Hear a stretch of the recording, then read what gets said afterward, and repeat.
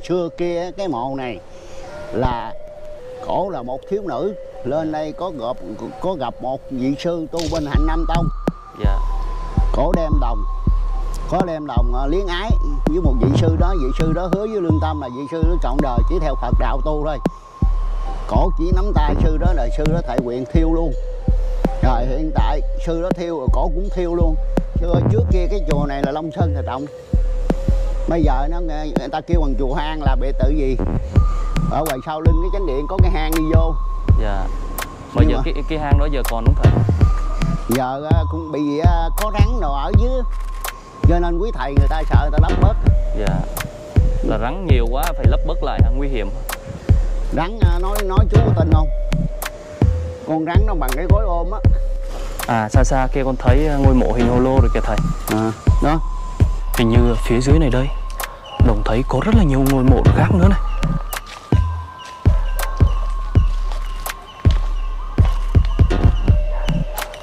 Ôi, tự nhiên ờ, đi đến khu vực này này, nó vắng lặng và đồng ờ, bị hiện nổi hết cha gà này quý cô chú anh chị? Có điều gì đó rất là kỳ lạ ở đây.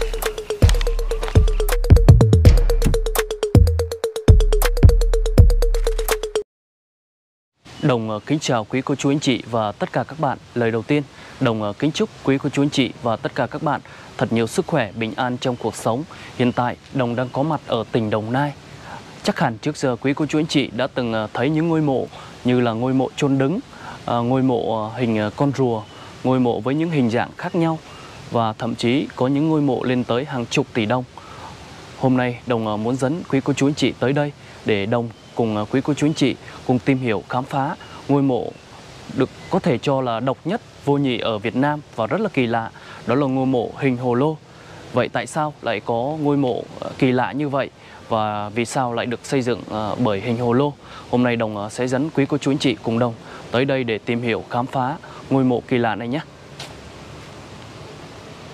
Ngôi chùa này trước kia có tên gọi là chùa hang bởi vì trong ngôi chùa có một à, cái hang ở sau ngôi chùa rất là bí ẩn. Ngay bên cạnh à, ngôi chùa là khu du lịch Bửu Long thuộc tỉnh Đồng Nai. Rất là đẹp luôn quý cô chú anh chị.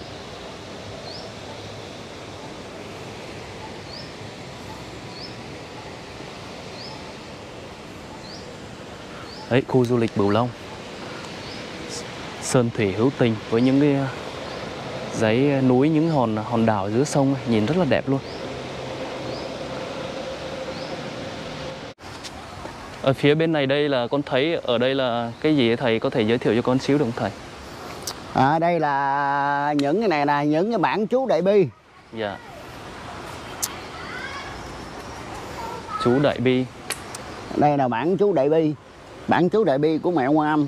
Dạ. Thiên thủ thiên nhãn của mẹ thiết mẹ thiết thực tế dòng giờ trong các ờ, bộ kinh nhật tụng á, là kêu bằng chú đại bi nhưng thực tế á, là trong nguồn gốc của kinh ờ, là nó là kinh thiên thủ thiên nhãn vô ngài đại bi. Dạ. Còn đây là bức tượng mẹ quan âm thiên thủ thiên nhãn ngàn tay ngàn mắt. Dạ. Thì ờ, bức ờ, chú đại bi này thì có cái ý nghĩa gì không thầy? Có công năng. Dạ công năng chú đại bi này là nếu người bệnh tật hoặc là gia đình khó khăn à, điều thứ nhất à, bệnh tật đau ốm những người đó thường xuyên trì tụng. Dạ. Mỗi một đêm năm biến mỗi, mỗi một đêm năm biến nó kêu rằng à, tụng đại bi chương cứu. Dạ. À, đem công đức á, hồi hướng cho người bệnh và nguyện tên tuổi và cầu an cho người bệnh á.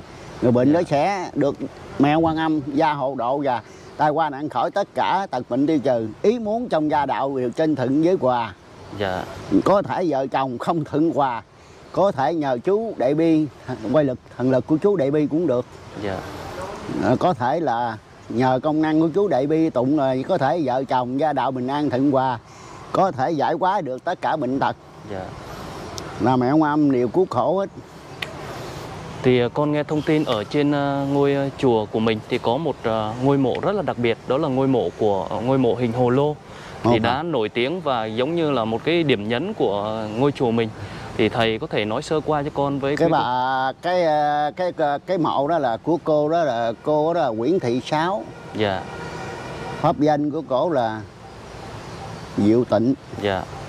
Mà ờ, theo thầy biết là bây giờ tuổi thì là cổ có thể nay là trên trên tám chục rồi. Dạ.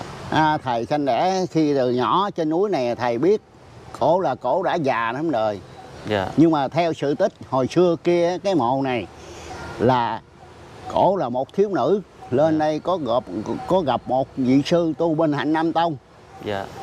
Cổ đem đồng có đem đồng ờ, liếng ái với một vị sư đó. Vị sư đó hứa với lương tâm là vị sư đó trọn đời chỉ theo phật đạo tu thôi. Cổ chỉ nắm tay sư đó là sư đó thệ nguyện thiêu luôn. Rồi hiện tại sư đó thiêu rồi cổ cũng thiêu luôn.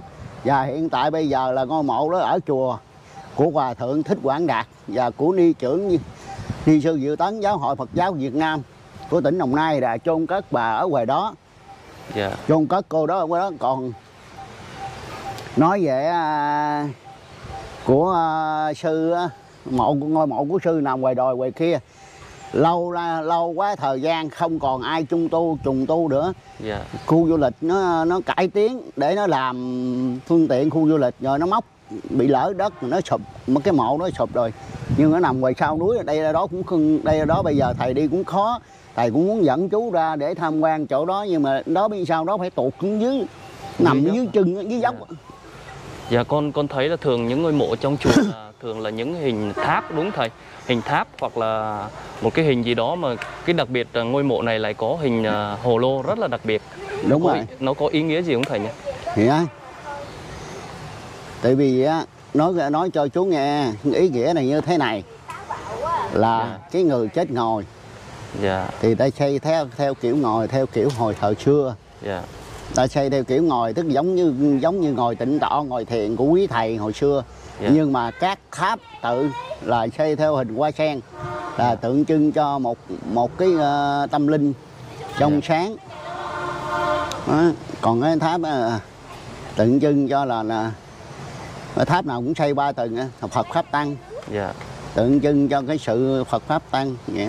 còn á, những cái mà những cái mã những cái mà tháp á, thì á những cái tháp lớn á, là để dành cho những bậc chẳng hạn như hòa thượng à, hoặc là ni trưởng. Thì á, mới xây cái những ngôi tháp lớn to bự. Còn à, những cái xây hồ lô này hồi xưa nói chung ra thì á, thầy chỉ biết à, thầy chỉ biết hồi đó là sư ông thích quảng đạt ở đây xây như vậy thôi thầy không hiểu được là cái hồ lô ý nghĩa. Nói chung cái ý nghĩa hồ lô đó thầy cũng không hiểu được. Bởi vì mấy người lớn tuổi những bậc chứng bối người ta làm người ta làm. Dạ. Tượng trưng thì giờ nó còn thầy hiểu được cái ý nghĩa là như vậy. Là một cái cô phật tử đến đó thì có cái sự có chuyện tình cảm đúng thầy? Đúng rồi có cái sự tình cảm. Dạ. Giữa ông sư và giữa cô đó mà cô đó tình cờ nắm tay ông sư thôi. Ông sư thề thiêu luôn. À ông thiêu luôn là thầy suốt cuộc đời ông theo Phật. Ông không theo ông ông không ra đời. Dạ. Rồi lại thì cô đó cũng thiêu luôn. Dạ. Coi như hai người cùng thiêu. Ông sư và cái cô Phật tử đó cùng thiêu luôn. Dạ. Đó, vậy là cái cái ngôi mộ này là nằm để được thế giới an lành. Đi ra phía sau này là thầy. A di đà Phật đi đây. Ở đây đi thẳng ra tới cổng chùa đó tam quan đó. Dạ. Nó đụng là tam thế Phật. Sau lưng Phật nằm đi vòng ra. Dạ dạ. Vòng ra là đụng cái tháp của cái tháp của sư ông dạ. của hòa thượng thích quảng đạt ờ, của ờ, tới của ni trưởng dạ. Ni sư diệu tấn. Dạ. Vậy chắc giờ con xin phép ờ, thầy con đi ra đó xíu nha thầy. A di đà Dạ, Phật đi dạ. đi thầy chọn mình đi. Dạ cũng rất may quý cô chú anh chị hôm nay đồng lên đây thì may mắn được gặp sư thầy. Thầy ờ, kể lại câu chuyện về ờ, liên quan tới ngôi mộ hồ lô của sư cô cũng như những cái câu chuyện xung quanh đó. Bây giờ thầy sẽ dẫn đồng với quý cô chú anh chị ờ, đi ra nơi ờ, ngôi mộ hồ lô kỳ lạ mà lần đầu tiên đồng thấy luôn á. đây có cái hang thì có mà À. ông thầy đại ông ông trụ trì cũng đi rồi Dạ. mẹ hồi xưa trước kia cái chùa này là long sơn thầy trọng bây giờ nó người ta kêu bằng chùa hang là biệt tự gì ở ngoài sau lưng cái chánh điện có cái hang đi vô Dạ. Mà Nhưng giờ mà- cái cái hang đó giờ còn đúng thầy? Giờ á, cũng bị á, có rắn đồ ở dưới. Cho nên quý thầy người ta sợ người ta lấp bớt. Dạ. Là rắn nhiều quá phải lấp bớt lại nguy hiểm rắn à, nói nói chú có tin không? Con rắn nó bằng cái gối ôm á.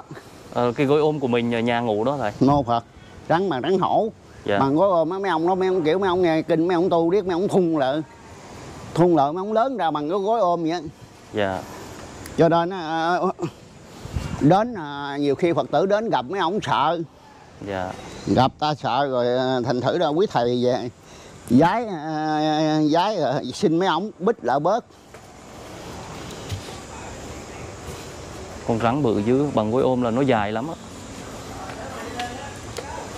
Nó cỡ khoảng tầm thầy thấy thầy thấy được một lần cỡ.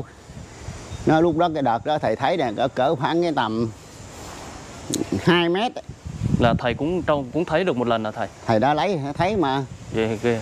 Giờ là nó nó nó bằng cái thân cái thân của của em thấy cái cái đường đi lên mẹ đường lên đỉnh mẹ linh đó nó bằng Dạ. cái cái cái cái à, cái thân của cái tròn bằng cái thân, thân, tròn của, đó thầy.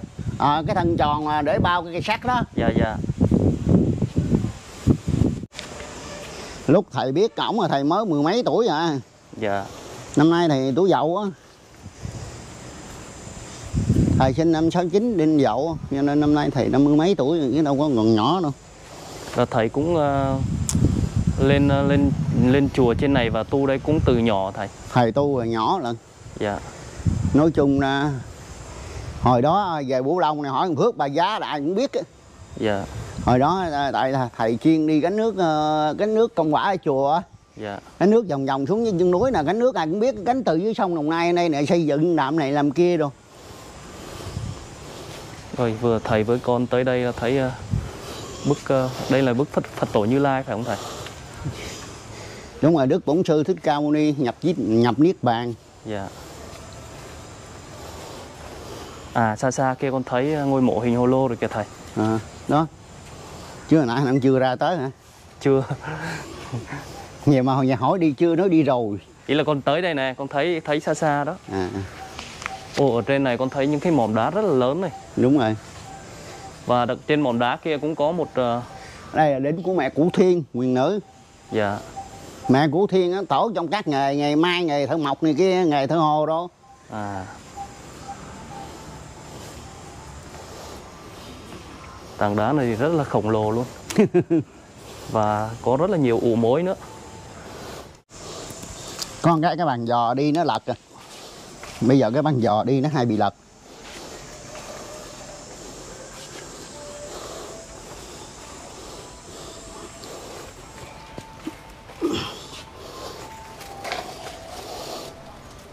Núi này nè tổ khai sơn. Tổ khai sơn trên núi nè. Là Vâng. tháp này là tháp của tổ khai sơn. Dạ chủ trì cái cái cái cái, cái chùa này à thầy? Cái này thầy nói em nghe là tổ khai sơn. Có nghĩa là cái người khai thác cái chùa này xây cất cái chùa này là đầu tiên. À. Kêu là, là tổ khai sơn đây là ông thích quảng đạt. Còn đây đây ni sư diệu tấn nè. Dạ. À, trưởng ban giáo trưởng ban ni trách giáo hội Phật giáo tỉnh đồng nai đấy. Dạ. Còn hiện, rồi hiện tại rồi ông giao là bảy giao lại cho đệ tử. Sư bà giao lại cho đệ tử sư bà là để đức thức minh đại giờ quản lý chùa này. dạ Ờ, ở đây con thấy có một ngôi mộ này là ngôi mộ này cũng là của một ờ, vị sư nào hay sao thầy nhỉ? Ngôi mộ này của một một ờ, bà một cô cô sáu trạch công quá công quả hồi xưa. À dạ. Cái lộ cô sáu trạch cô sáu trạch này là huynh đệ với lại ờ, sư bà.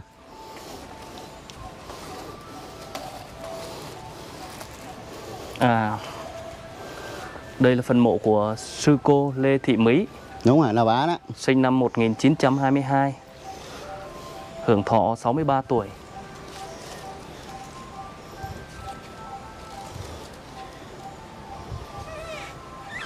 Và đồng với ờ, sư thầy vừa Đây tới nè. được ờ, dương thị giàu nè. ngôi mộ ờ, pháp danh diệu phước nè. dạ, ngôi mộ hình hồ lô đặc biệt.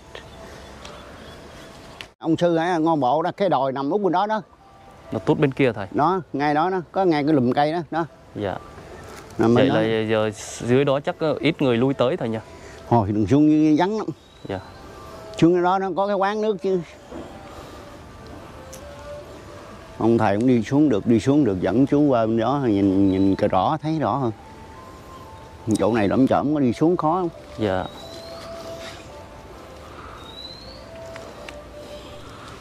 Quý cô chú anh chị có thể xem một ngôi mộ rất là đặc biệt và kỳ lạ. Lần đầu con thấy luôn đó sư thầy. Một ngôi đâu. mộ hình hồ lô. trên ngôi mộ có cây bồ đề một nữa đó Cái này chắc mọc tự nhiên đúng thầy? đúng rồi này tự nhiên chứ không ai trồng nha cây bồ đề á À, tại bên trên đây cây bồ đề nhiều lắm mà coi như là nó nó đụng hạt á dạ. gió thổi. Thì con thường thấy là những ở những ngôi chùa thầy Mộ là thường thấy trồng rất là nhiều cây bồ đề. Trồng hai thứ cây một là cây bồ đề thứ nhất đặc điểm là riêng ở chùa là trồng cây à, sa la Dạ. sa la là tốt thứ nhất mà sa la bởi vì có à, nó có nó sự liên quan với đức thích ca Dạ. Ừ. còn à, cây sa la có sự liên quan với đức thích ca vì xưa ngài nhập niết bàn tại cây sa la kêu cây sa la sông thọ là ở kia ở, ở chùa thường thường trồng hai thứ đó nhiều nhất là cây bồ đề là cây sa la ở đây ông thầy đại à, à, ông có trồng hai cây sa la nhưng nó chưa có lớn mới trồng Thì ờ, theo quan niệm bên bên Phật mình thầy thì cây bồ đề là có ý nghĩa gì thầy? Ừ. Cây cây bồ đề á. cây bồ đề là tượng trưng cho những sự dũng mãnh Dạ. dũng mãnh là là một là thứ nhất là cái cái sự dũng mãnh thứ hai là trưởng dưỡng cái sự kiên trì Dạ. nói về trí tuệ Dạ. nó không lùi bước Dạ. Ừ. Thì Cái ờ, theo dũng- ờ, con tìm hiểu cái sự dũng mãnh của một người tu dạ.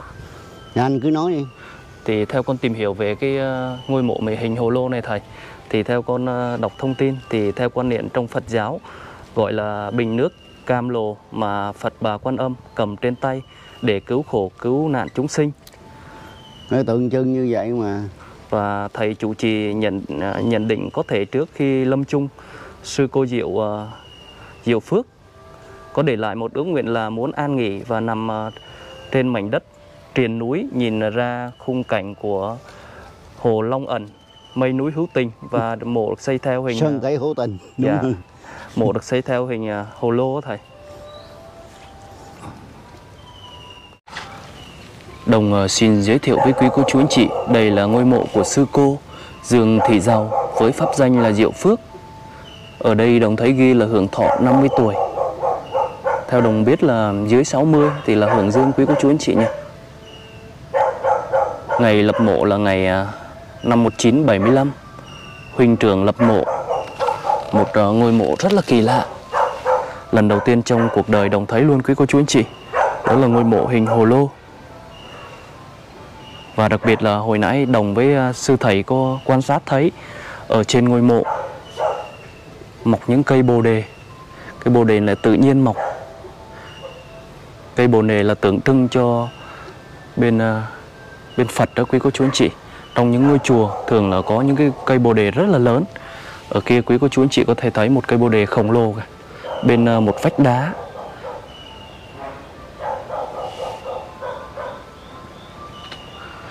Đồng đi một vòng xung quanh ngôi mộ ờ, kỳ lạ của sư cô. Cho quý cô chú anh chị cùng xem.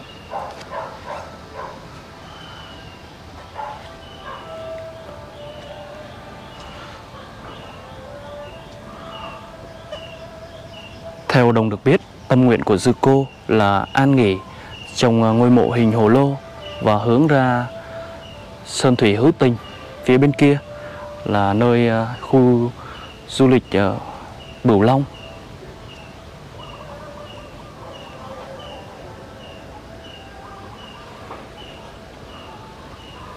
Ở phía bên này đây, đồng thấy có rất là nhiều điều gì đó rất là kỳ bí quý cô chú anh chị. Có những ngôi mộ và có những cái, ngôi miếu nhìn rất là ghê rợn. Đồng với ờ, quý cô chú anh chị di chuyển qua đó xem sao. Ở đây ờ, những cái vách đá này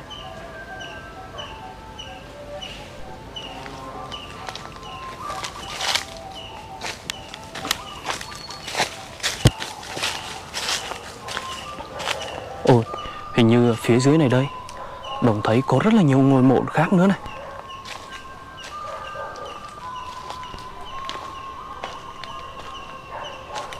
Ôi, Tự nhiên ờ, Đi đến khu vực này này, Nó vắng lặng và đồng ờ, Bị hiện nổi hết cha gà này quý cô chú anh chị.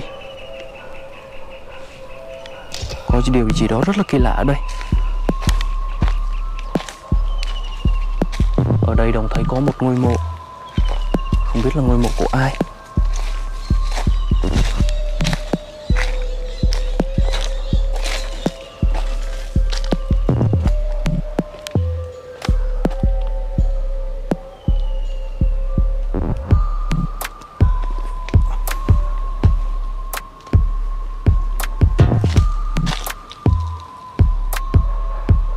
Phần mộ mẹ phần mộ cha ủa kỳ lạ là hai người an nghỉ chung một ngôi mộ quý, quý cô chú anh chị.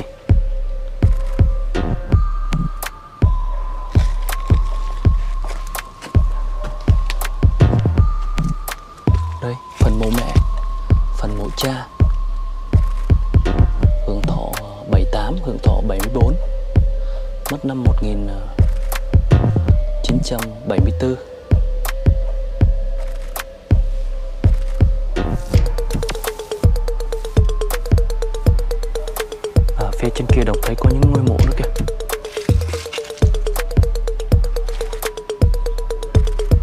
Xung quanh ở đây thì những mỏm đá và những cây cổ thụ rất là lớn luôn.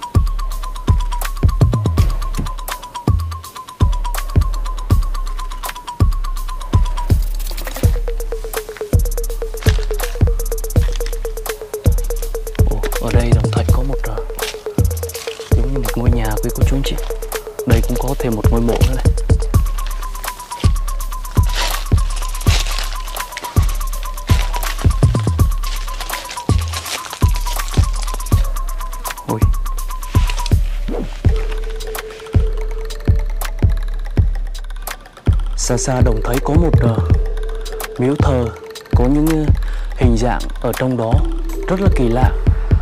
Điều đó gây sự tò mò cho đồng. Đồng phải leo lên và di chuyển qua đó xem như thế nào.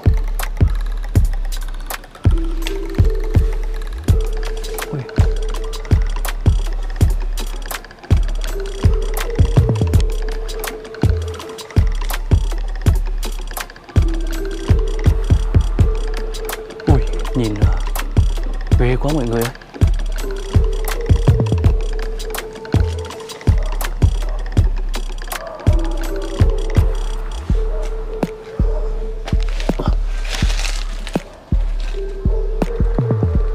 Ủa cái này là hình gì cả nhà? Quý cô chú anh chị có thể uh, cho đồng biết hình này là hình gì không ạ? Ủa lần đầu đồng thấy luôn